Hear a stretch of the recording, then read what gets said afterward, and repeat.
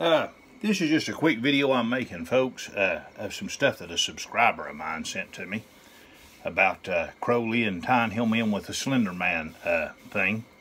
You can see right here that this is actually Crowley's Crowley's demon that he had, the big-headed demon. Here's a picture of it in actually in one of his books.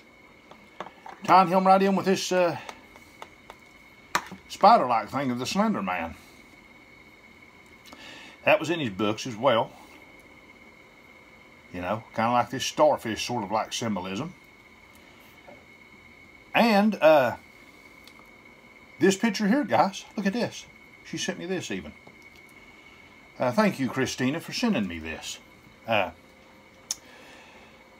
this this ties in things in many ways, folks, with this uh, this whole thing at Crowley uh, and the Slenderman thing. I mean, right down to uh, hold on one moment. This is stuff that she sent me on her email.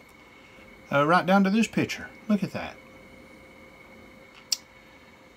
Yeah, it uh, it ties it in big time. I mean, you can't make his stuff up, folks. Look at that. This is this is in Crowley's books, man. Right here. You see it. So, uh, you know, the connections are really weird, and I'm going to continue to make the connections. I'm going, I'm going to show you some more stuff on the next video I got.